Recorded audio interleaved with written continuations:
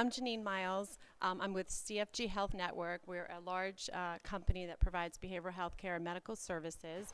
Um, Ryan Lowe came to our organization to speak at one of our quarterly meetings, and I have to say, he's probably one of the most genuine, sincere, um, inspirational, and motivational speakers that we've had thus far. The feedback um, was phenomenal, and we are very excited to actually uh, hire him again to provide us some customer service training. So we're really very pleased with the services. Thanks, Ryan.